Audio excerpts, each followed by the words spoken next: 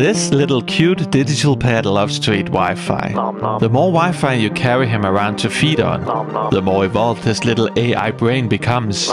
And the better he becomes at collecting Wi-Fi handshakes, which can potentially be used to figure out the passwords of Wi-Fi networks.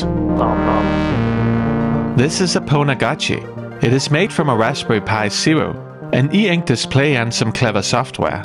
There are even cool plugins for it, like this Wall of Flippers plugin that detects nearby flipper zeros. But this is not what this video is about. This video is about a new piece of software which takes automatic collection of Wi-Fi handshakes to the next level.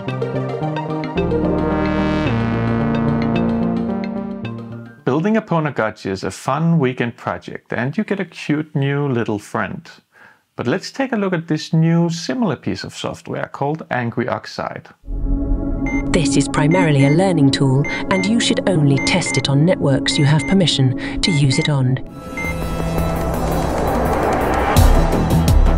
Angry Oxide is a Wi-Fi penetration testing tool that collects Wi-Fi handshakes either passively or through various clever and fully autonomous manipulation methods. When a device connects to a Wi-Fi access point, the access point on the device agrees on a common encryption key based on your Wi-Fi password through what is known as a four-way handshake. It is possible to capture these handshakes or parts of them and sometimes convince the access point or even a client to hand some of them over. This handshake hash that we collect will not reveal the password of the Wi-Fi network directly. That would be too easy. But we can use a different application to test a massive amount of potential passwords on it to see if any of them are equal to the Wi-Fi password. The methods used by Angry Oxide are similar to our little Ponagachi friend, and it attempts to be a bit more sneaky than the aggressive deauthentication spam found in an ESP32 Marauder. Let us try and attack our very secure access point. I run Angry Oxide on a laptop running Kali Linux, but you can also run it on a Raspberry Pi or in a virtual machine. Angry Oxide needs to be run as root, to launch the application, we first of all need to define the interface of the Wi-Fi card we will be using. I'm using a USB wireless network card by Alpha. There is a list of recommended devices on the GitHub wiki. Then we need to define the target access point, either by the name or by a MAC address. If we know what channels the access point operates on, we can define them with C. Alternatively, we can set the argument AutoHunt and let Angry Oxide find the channels by itself. If we don't define a target, Angry Oxide will attempt to actively gather handshakes from all nearby access points on the channels defined. There are other interesting command line arguments available, such as rate, which defines how aggressively Angry Oxide will act on a scale from 1 to 3, or no transmit, which will have Angry Oxide be completely passive unless a target is selected from the list of available access points. Running Angry Oxide, we are presented with four tabs to switch between. The first is a list of access points that Angry Oxide has found on the channels that we've defined.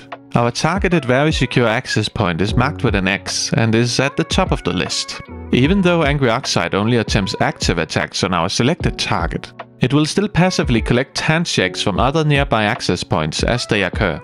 We can see the MAC address, SSID, number of connected clients, the amount of attack packets we've transmitted, as well as whether we've successfully gathered a complete handshake or PMKID for the access point.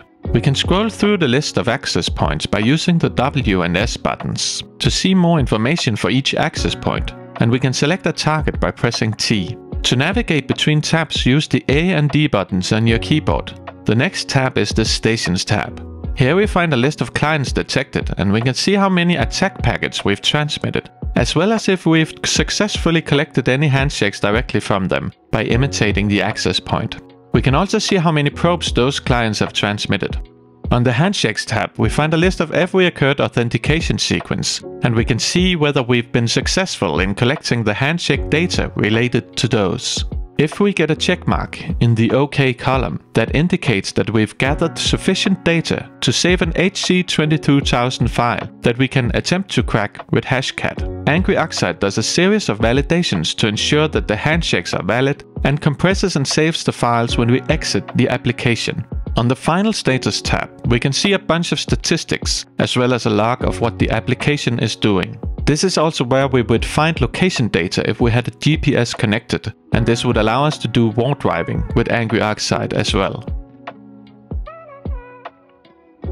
Once we've captured the handshake hash, we essentially have a copy of the padlock that the Wi-Fi access point and the device used to encrypt the messages with.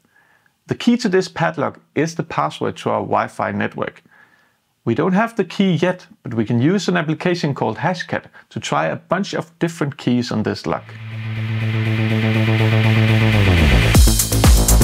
We can do this without interacting with or even being near our very secure access point. We type out the command to start Hashcat and choose our freshly obtained HC22000 file, as well as define what word list will be used. A word list is a huge file full of passwords, and you can find many of these online that consists of actual passwords that other people have used. Running through the word list in Hashcat can take a few seconds, or many hours, depending on how big the word list is, how fast your computer is, and how far through the list Hashcat has to look to find our password. And even then it might not find the password at all, if it is not equal to any of the words found in our word list. It is also possible to run a brute force attack with Hashcat, which will try every combination of letters and numbers. But this can take an extremely long time if we don't define certain rule sets based on known information about the typical structure of the suspected password. In this instance, it took us only a few seconds to find the simple password to our very secure access point. This is why it is important to choose uncommon passwords to prevent others from gaining access to your network. Angry Oxide is more useful and more controllable than a Pwnagotchi, but it is a bit more cumbersome to have to bring a laptop along, although you could run it from a battery-powered Raspberry Pi. Angry Oxide is a new and rapidly evolving application.